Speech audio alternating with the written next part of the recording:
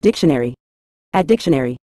In a general context, nursing refers to the profession and practice of providing healthcare and medical assistance to individuals who are ill, injured, or in need of care.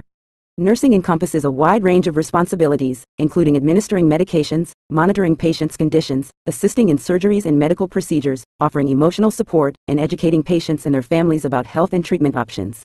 Nurses work in diverse healthcare settings such as hospitals, clinics, nursing homes, and home care, and they play a critical role in promoting and maintaining the well-being of patients, as well as collaborating with other healthcare professionals to ensure comprehensive and compassionate care.